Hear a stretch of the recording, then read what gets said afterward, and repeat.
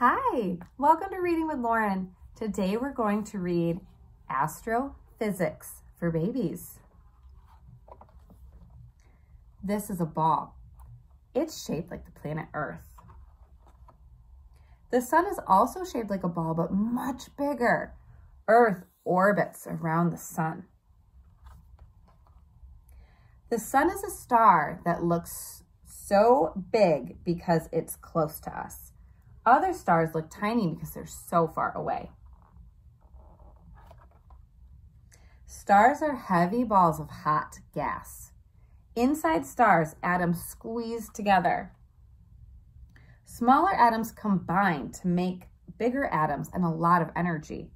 That energy keeps stars hot and makes them shine brightly. When the universe was born, there were only a few of the simplest atoms. Now there are many kinds of atoms called elements. Most of these elements were made by stars.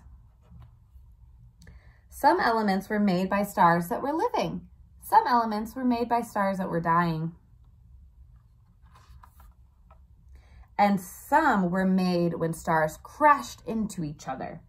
The very atoms inside your body were created by stars. Stars exploded, sending atoms out into space.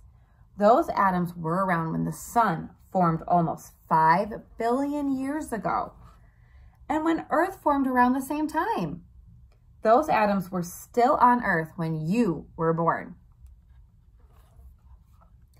When new stars form, they recycle atoms from old stars, and you are part of this cycle.